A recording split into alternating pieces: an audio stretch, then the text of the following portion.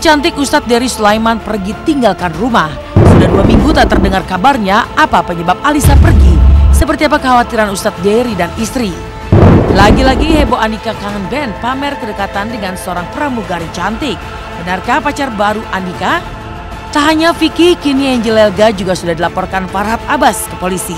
Akan menggelar pernikahan mewah sore ini, apa tanggapan Angel Elga? Penasaran pasca menjadi viral, para pemain dunia terbalik datangi pembeli dan penjual pecel lele yang tetap berjualan walau di tengah kepungan banjir. Seperti apa awal mula ceritanya?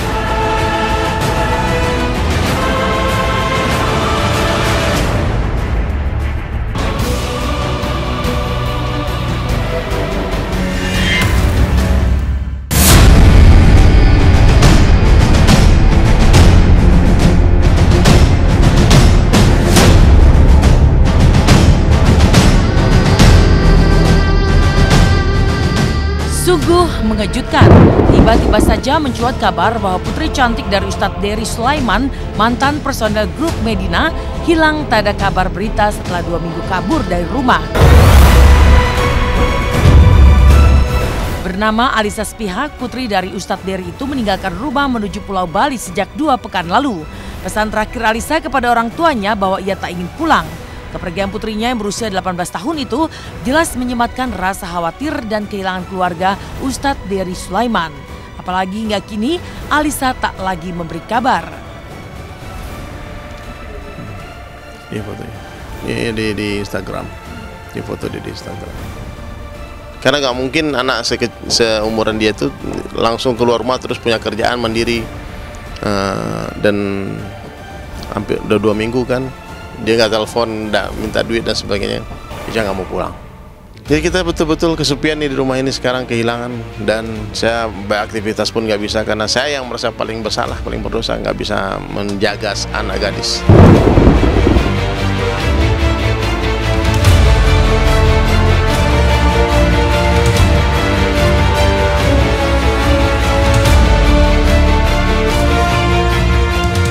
Nekatnya Alisa yang masih belasan tahun meninggalkan rumah tak hanya meninggalkan sedih dan kekhawatiran keluarga, tetapi juga mengganggu aktivitas dakwah Ustadz Dery yang hijrah dari gitaris band metal menjadi pendakwa di tahun 2000-an bersama Sunu Mata Band dan juga Ray Nine Ball. Di kamar Alisa yang kini kosong, Ustadz Dery dan sang istri mengungkap rindu dan kesedihan.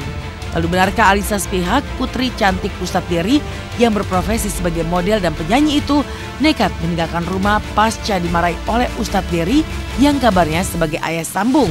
Benarkah Ustadz Dery menilai lantaran ada pihak yang menghasut Alisa untuk pergi dari rumah?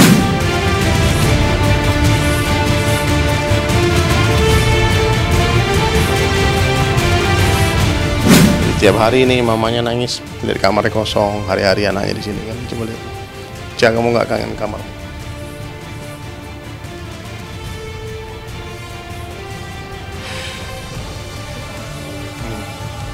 Semua dia nggak bawa, dia bawa aja barang-barang penting-penting ini.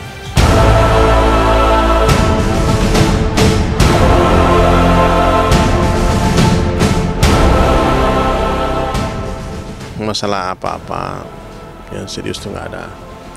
Cuman pernah sebelum Alicia pergi itu, uh, dia kita marahin. Ya wajar lah orang tua marahin anaknya kalau anaknya salah ya. Kalau menurut kita salah ya kita marahin. Cuma kita nggak menyangka reaksi dia seserius ini gitu loh.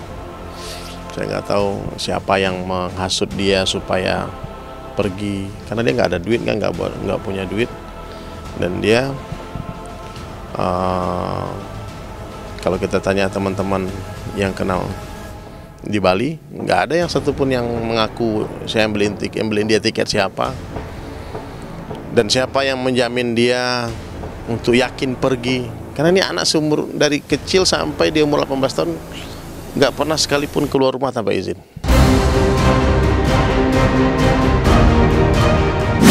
Anak-anak zaman sekarang mungkin uh, dengan kita dulu beda dimarahin kita mungkin masih dengar. Sekarang mereka argumen mereka bantah dan sebagainya ya sekarang kita cari saya udah kita udah ke Bali keliling-keliling udah berapa hari di Bali keliling-keliling.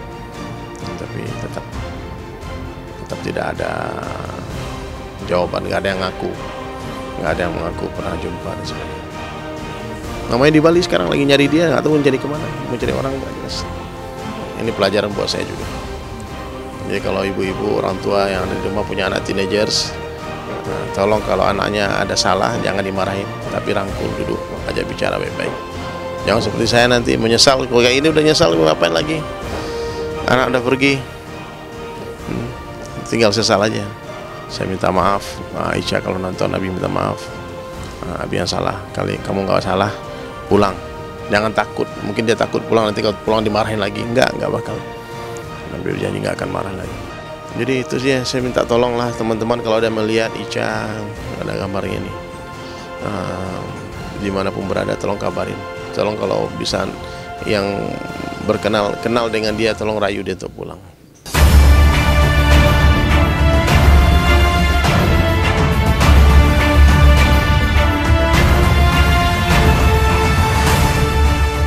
Tak kalah heboh dengan kejadian hilangnya putri Ustadz Dery Sulaiman, Andika Mahesa mantan vokalis Kangen Band kembali menunjukkan aksinya yang selalu membuat sensasi. Di usia yang baru 32 tahun, Andika sudah empat kali menikah dan bercerai mulai dari Ade Bunga Niari, Angie April Lestari, Nadine hingga Hairunisa. Pasca resmi menduda sejak bercerai dari Hairunisa tahun 2017 silam, Andika kemarin terlihat kembali menggandeng wanita cantik yang kabarnya seorang pramugari. Lantas benarkah Andika dan sang pramugari cantik telah menjalin hubungan asmara? Seperti apa kebersamaan Andika dengan sang pramugari yang diunggah ke media sosial? Terus jadi pramugari itu berat resikonya ya? Berat kamu akan kuat jadi uh. suami aku aja. jadi kalau misalnya jatuh, hmm? terus kita masih hidup makanannya dibagi-bagi gitu. Iya. Jelasin dulu Ani. Jadi, yeah. jadi seorang pramugari itu nggak mudah, hmm. teman susah tahu ngadepin penumpang yang bawel, yang cerewet, yang jahat terus ngadepin penumpang yang baik, yang ganjen. Bang, udah tunangan gue bang. Intinya gue berteman sama siapa aja lah. Itu kan itu kan sebutan dari masyarakat, bukan dari saya. Saya klarifikasi, saya hanya sebatas teman gitu.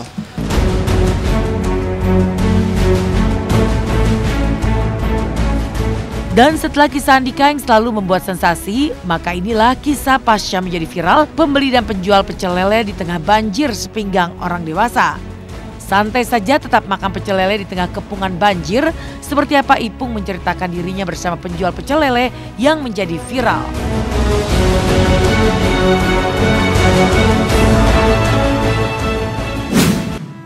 Halo, selamat pagi pemirsa. Kembali lagi bersama saya, Natasha Manuela. Duh, nggak habis-habis ya, Andika Kangen Band selalu membuat sensasi dengan gadis-gadis cantik. Nah, kali ini ada juga kisah viral tentang pembeli dan penjual pecel lele yang tetap berjualan meskipun tenda jualannya terkepung banjir. Lantas seperti apa kekaguman dari Tatang dunia terbalik yang penasaran dan akhirnya mendatangi lokasi untuk mencicipi kelezatan dari pecel lele banjir tersebut? Dan benarkah bahwa pasca viral tenda pecel lele tersebut kian laris didatangi pembeli? Lalu di lain kisah ada juga keseruan dari Dudung Dunia Terbalik yang ikut bergabung dengan pasukan oranye membersihkan bantaran kali pasca banjir.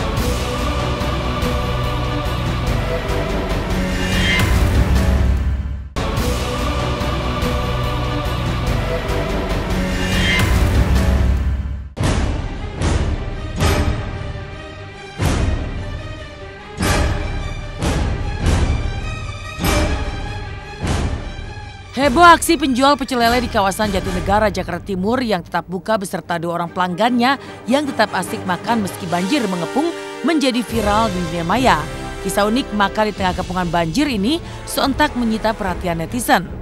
Ya, di tengah banjir yang nyaris mencapai ketinggian setengah badan orang dewasa, terlihat dua orang pelanggan warung pecel lele Cah Hendrik 88 masih duduk santai sambil menghabiskan pesanan mereka. Apa yang sebenarnya terjadi saat itu ternyata juga membuat penasaran Dudi Suhilman, pemeran Tatang dalam sinetron Dunia Terbalik. Guna mengetahui kondisi yang sebenarnya terjadi saat itu, Tatang pun mengajak dua rekannya pemeran Anwar dan Kasdun menyambangi warung pecel lele yang menjadi viral tersebut. Lalu seperti apa cerita Cah Hendrik dan Ipung pemilik dan sang pelanggan di balik kisah makan pecel lele di tengah banjir tersebut? Halo pemirsa Intens, kita bertiga baru saja sampai di daerah Jatinegara. Ya, Nih, sekarang kita mau makan di tempat yang kemarin viral ya yang banjir. Come on. Ayo buruan ah. Ya ini namanya warung pecel ayam apa? ayam bakar Cak Hendrik 88 Saya kan kemarin sempet denger tuh ya, Iya. pas waktu banjir gede, tapi Bapak masih tetap buka. Kalau boleh tahu, itu kronologinya kayak gimana Pak itu kemarin tuh? karena terpaksa aja udah buka sih tiba-tiba jam sekian air meluap dari selokan Pemirsa, ternyata bapaknya sudah tahan uji, sudah biasa. Nah, itu yang kemarin yang makan itu yang sendiri itu dia makan tapi sambil banjir itu gimana itu ceritanya, Pak? ya di bangku ditumpuk gitu aja udah makan Oh, di bangku ditumpuk. Tapi dia memang benar-benar istilahnya nggak menghiraukan itu banjir atau yang gimana ya? ya makan juga biasa sambil itu pesanan banyak sih jadi sambil anak-anak masih goreng terus kalau seandainya nggak ada pesanan ya langsung tutup Ini kalau nggak salah, ini bapak yang kemarin makan di tengah banjir. Iya benar. Iya. Itu saya. Pemirsa, ternyata tebakan saya tidak meleset. Bapak ini yang kemarin makan dengan tenangnya di tengah-tengah banjir, pemirsa. Wah, saya penasaran pemirsa. Itu sih kemarin habis pulang kerja terus eh, rapiin rumah kan dengar kabar dari rumah banjir cepet juga kan air naiknya udah beres-beres terus ngerasa lapar nyari mau nyari makan tempat lain sih penuh banget. Cuman di sini yang buka cuman kondisi banjir agak sepi eh, sepi gitu. Nggak ada yang beli. Jadi saya ke sini aja. Mana rasanya setengah badan ke atas kering setengah badan. Di bawah sih basah semua aja. Cuman ya nikmatin aja rezeki deh itu hanya kayak gitu nggak apa-apa. Tatang, Anwar, dan Kasdun yang juga penasaran dengan kelezatan rasa warung pecel lele yang dikepung banjir tak melewatkan kesempatan untuk mencicipi menu yang tersedia di antaranya lele dan bebek goreng. Lantas apa komentar mereka usai makan lele dan bebek goreng yang menjadi menu andalan warung tenda viral tersebut?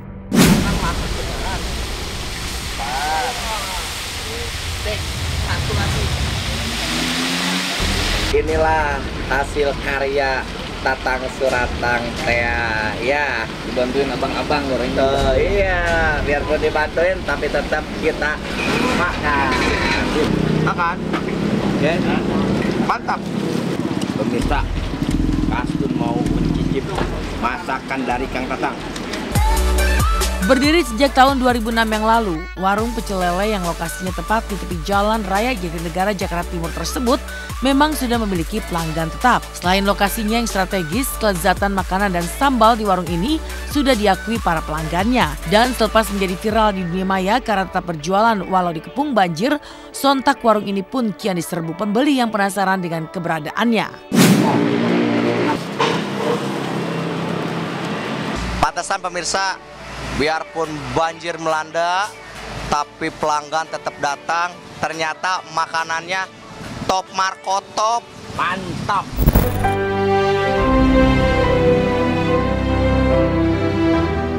Sementara di tempat terpisah, tepatnya di kawasan Lenteng Agung, Jakarta Selatan, inilah aksi Oci pemeran Dudung di sinetron Dunia Terbalik justru memilih bergabung dengan pasukan oranye yang tengah berjibaku di tepi kali membersihkan sampah dan lumpur sisa banjir. Dengan cekatan Dudung yang juga berseragam ala pasukan oranye turun langsung dan berjibaku bersama rekan-rekan barunya itu membersihkan lumpur sisa-sisa banjir.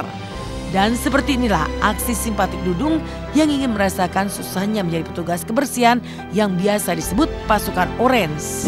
Halo pemirsa Intens, saya sekarang berada di sedang berada di Kelurahan Lenteng Agung di Jalan Duri. Saya sedang berada di tengah-tengah para pegawai PHL para PHL grup Orange. Eh, semalam baru kena ini apa? Baru kebanjiran ini. Ini apa bisa intens. Bentar lagi saya akan turun ikut ikut membersihkan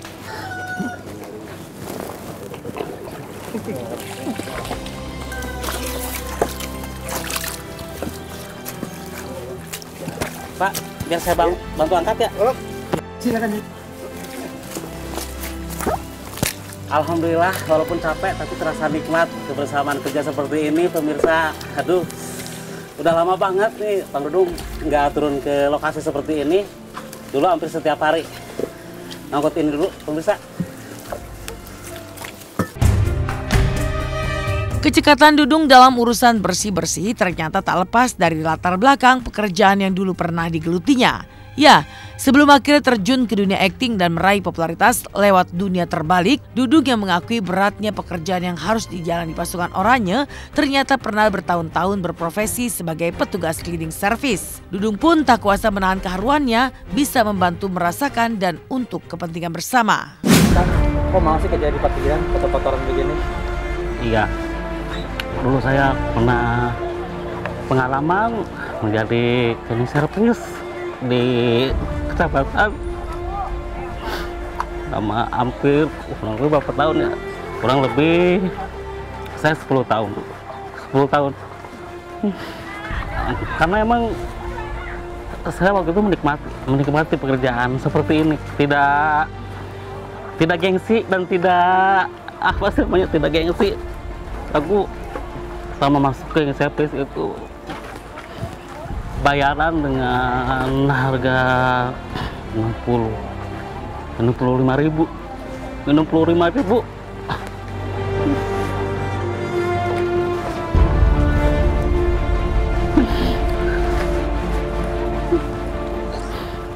Mau pengen naik sampai 400, 400 ribu aja 200 ribu aja dulu saya jadi cleaning service di kecamatan harus nunggu 2 tahun.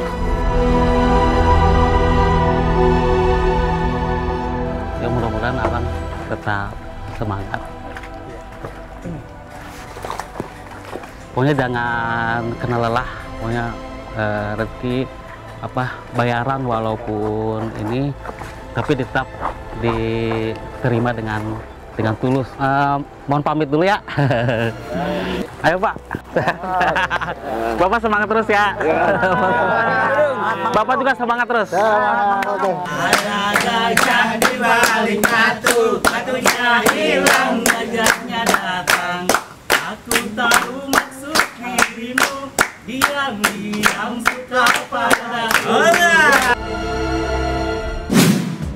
Masih tentang heboh konflik yang kian panas antara Farhad Abbas versus pasangan Vicky Prasetyo dengan Angel Elga.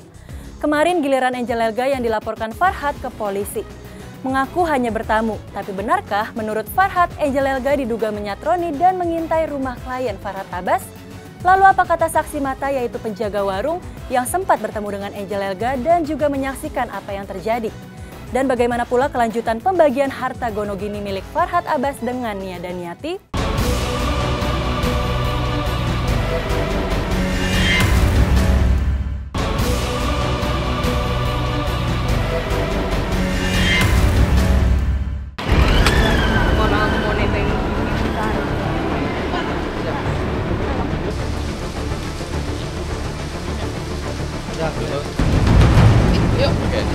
Oleh karena itu kita melaporkan Angel agar segera ditangkap. Heboh perseteruan Farhad Abbas dengan pasangan Vicky Prasetyo dan Angel Lelga kian hari kian memanas. Alih-alih mencari jalan damai, Farhad yang sepertinya sudah kadung emosi dengan pasangan tersebut bahkan berharap Angel Lelga segera ditangkap dan dipenjarakan. Ya, setelah ingin memenjarakan Vicky Prasetyo atas kasus dugaan penipuan penjualan rumah kliennya yaitu Nyonya NF, kini giliran Angel Lelga juga akan dipenjarakan Farhad. Harapan tersebut disampaikan Farhad semalam usai melaporkan Angel Lelga ke Polda Metro Jaya terkait aksi Angel Rabu malam kemarin yang diduga telah mendatangi rumah kediaman keluarga Nyonya NF klien Farhad.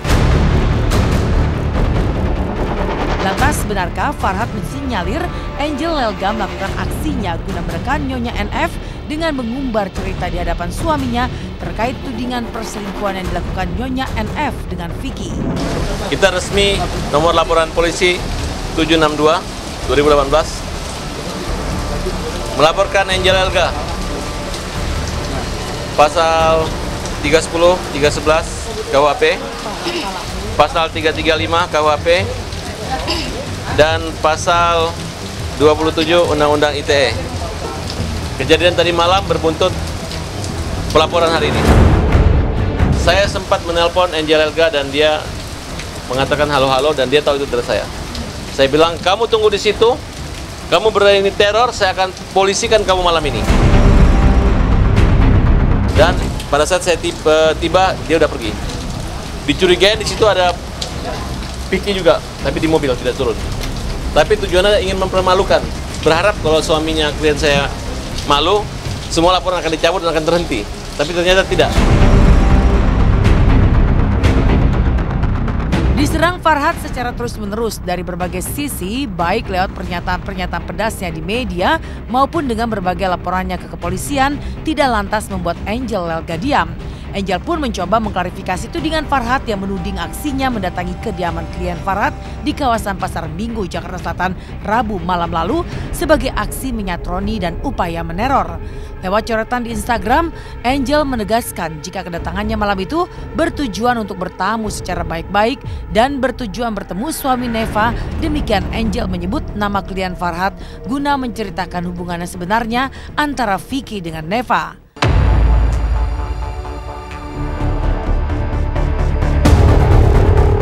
Saya memang bertamu ke rumah perempuan yang selama ini menuduh keluarga kami hal negatif. Saya ingin bertemu suaminya agar suaminya tahu selama ini perempuan ini ada hubungan gelap dengan suami saya. Sebelum suami saya menikahi saya, saya sengaja ke sana agar Neva stop membuka aib sendiri. Karena sakit hati melihat kebahagiaan orang lain, karena Neva seolah menciptakan opini publik. Jika dia tertipu dan mengelak ada hubungan dengan suami saya, buat saya ini yang harus diluruskan. Demikian klarifikasi Angel lewat coretannya di Instagram. Lalu apa kata saksi mata di TKP terkait aksi Angel malam itu? Benarkah sebelum menyatroni kediaman NF, Angel yang ditemani dua orang rekan prianya, salah satunya diduga kuat adalah Vicky, sempat memata-matai kediaman sang wanita selama kurang lebih satu jam dari sebuah warung kopi. Misi. Aja yang kemarin itu si uh, datang ke sini mau ceritain aja sedikit kejadian seperti apa. Ah, enggak pak. Hah? Sedikit aja mas, kayak keterangan aja.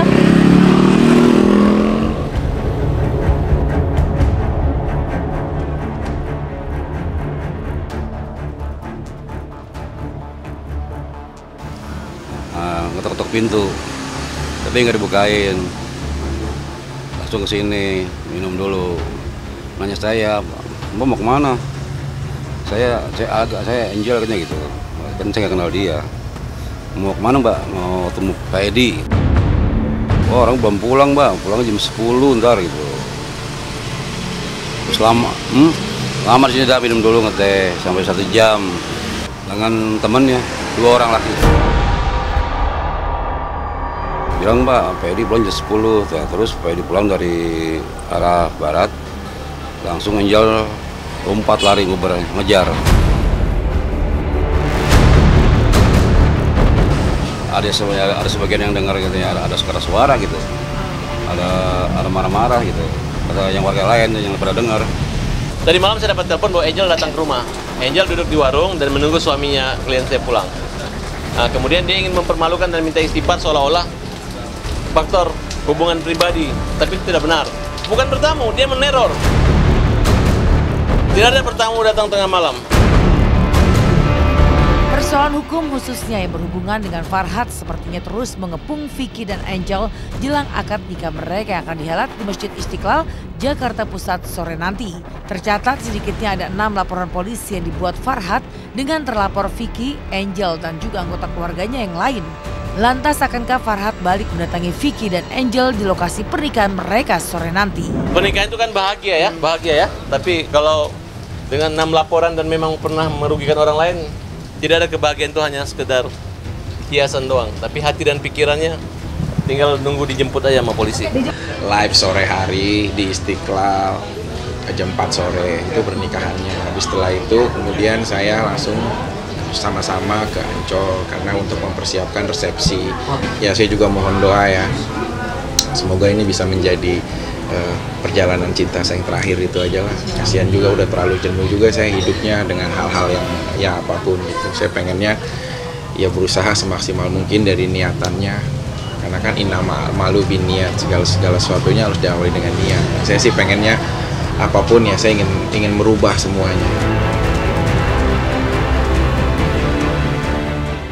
Selain berseteru dengan Vicky dan Angel, Farhat juga masih mengisahkan persoalan terkait pembagian harta Gonogini dengan Nia dan Yati mantan istrinya. Pasca menang gugatan karena kasasi Nia dan Yati ditolak Mahkamah Agung, benarkah Nia dan Yati telah legowo untuk berbagi rumah yang kini ditempatinya di kawasan Kemang, Jakarta Selatan dengan sang mantan suami?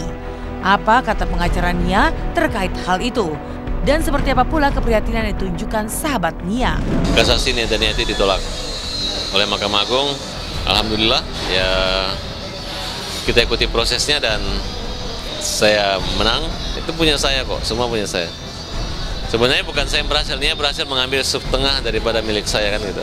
Udah inkrah ini putusannya.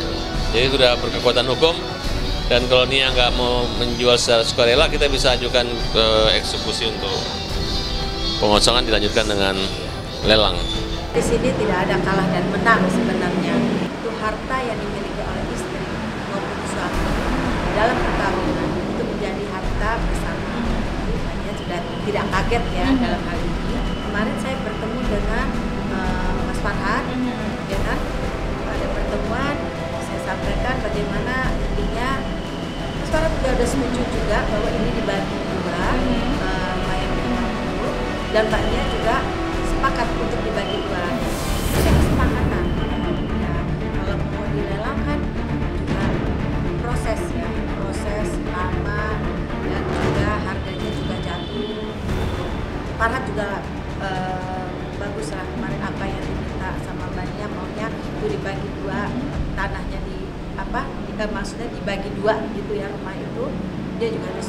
Ya prihatin lah sebagai seorang sahabat dengan eh, apa yang saya dengar barusan bahwa eh, apa gugatan Mbak Nia itu eh, su- sudah kalah di pengadilan.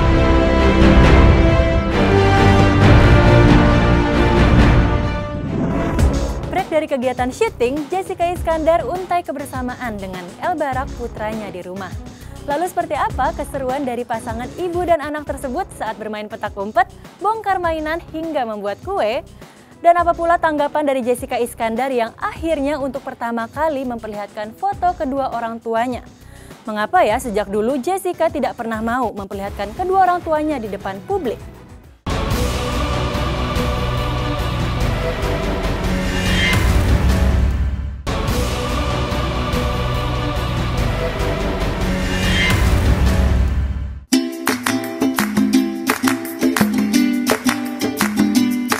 Seolah mengabaikan Ludwig yang memberi emoticon love pada foto Jessica Iskandar dan El Barak di media sosial, ibu anak itu menjalani kehidupan di Jakarta dengan penuh keseruan.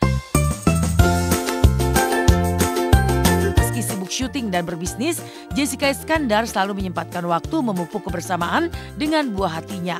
Mulai dari kejar-kejaran, main petak umpet hingga membuat cupcake coklat bersama-sama. Lantas, seperti apa sibuknya El dan Jedar saat menghabiskan waktu bersama membuat cupcake coklat di dapur? Pemirsa intens yang baik hati, ketemu lagi sama aku, mamanya El Barak, Jessica Iskandar. Dan anak kesayangan saya bernama Johnny. Johnny, Johnny, are you Johnny? oh bukan, this is the guy from the store. Oh bukan, bukan. This is uh, the doctor from the hospital. Oh bukan, bukan. This is pilot from the zoo. Hello, good morning, pilot. Are you a pilot from the zoo? No? Who are you? Here. Which one you want? This, this one. Terus minta takaran air. Sama takaran air. Thank you, sayang. Oh, bisa. Satu lagi, El. Preheating and then air. Oke pemirsa intens di mana pun anda berada, aku dan El Barak saat ini sedang bersiap-siap untuk membuat kue.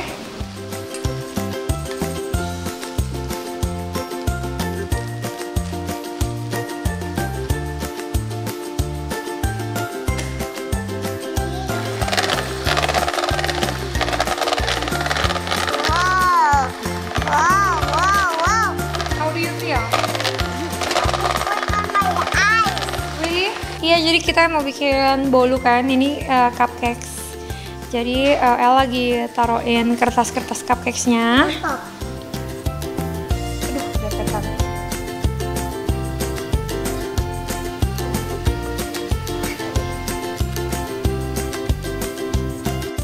Sembari menunggu cupcake coklat matang, El pun mulai menunjukkan koleksi mainannya kepada tim Intens.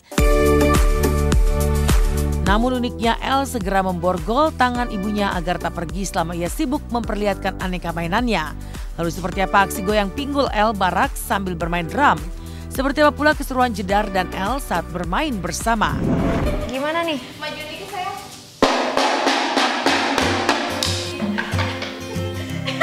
wiggle, wiggle, wiggle, wiggle.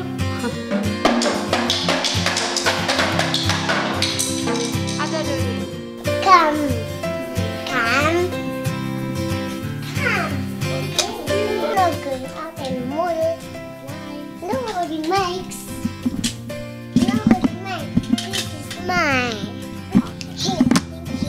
No, holding mine. Oh ini alat-alat sekolahnya El nih, ada topi, terus ada buku, nih Sky, ini dari mainannya El nih. Terus ini Marshall, tuh aku aja sampai hafal nama-nama karakter kartun. Bayangin aku hafal, aku padahal nggak suka nonton kartun, tapi aku hafal ini Chase, ini Rubble. Banyak sekali mobilnya, buat apa? ini biasa El bawa tas ini kalau El lagi main terus ke mana gitu dia selalu bawa mainan kan. Wow udah mau jadi rumahnya. Tepuk tangan pemirsa. Lihat apa yang terjadi El Barak telah membangun sebuah rumah. Di depannya tepat berada kolam renang yang akan yang akan jadi pada bulan Juni. Ini ini ya, ini yang rumah baru. kolamnya mana? oh Cukup puas bermain bersama dengan koleksi mainan El, Jessica dan putranya kembali mampir di dapur untuk mengambil cupcake coklat yang telah matang. Dengan sigap, El terlihat antusias membantu ibunya menyiapkan cupcake buatan mereka yang terlihat menggugah selera. Dan inilah saatnya El dan Jedar berpura-pura menjadi pemilik toko kue dan para asisten rumah tangga sebagai konsumen setianya. Wuh, look at that cake.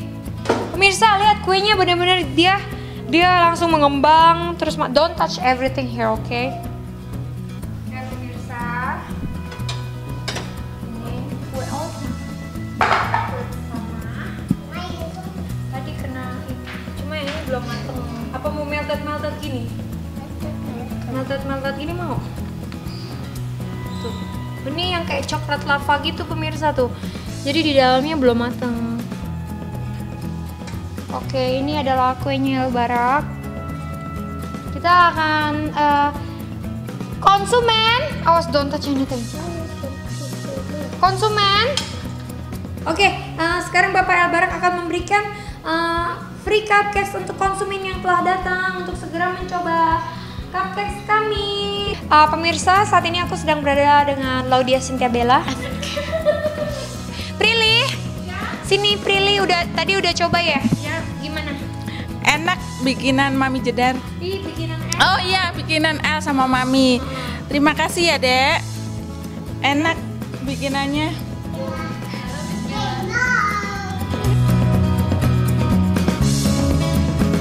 Dan untuk pertama kalinya sepanjang karirnya 13 tahun di dunia entertain, Jedar akhirnya menunjukkan foto kedua orang tuanya di akun Instagram saat berulang tahun baru-baru ini.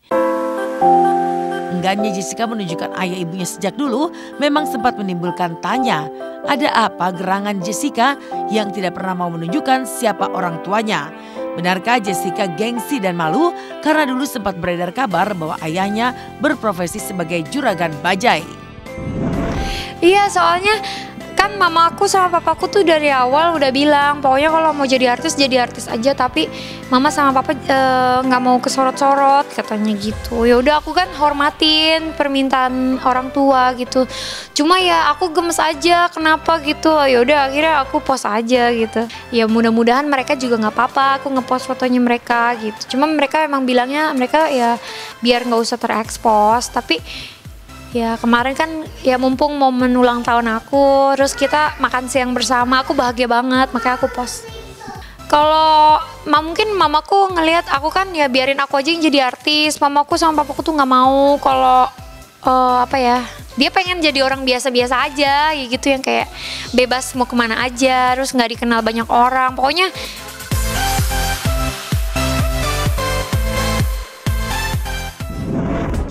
Tak baper dengan kisah percinta remaja? Apalagi ditambah dengan bumbu cinta segitiga.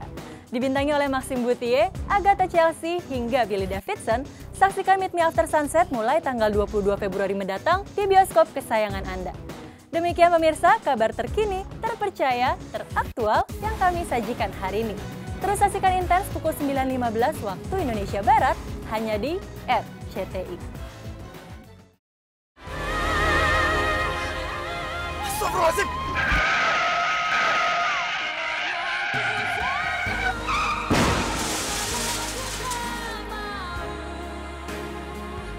Aku udah ada gunanya lagi.